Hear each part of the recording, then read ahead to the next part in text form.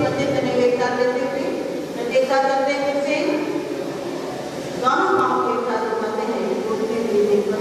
हैं। और थोड़ा आगे करने के बाद नीचे आप पीठ के पीठ के बल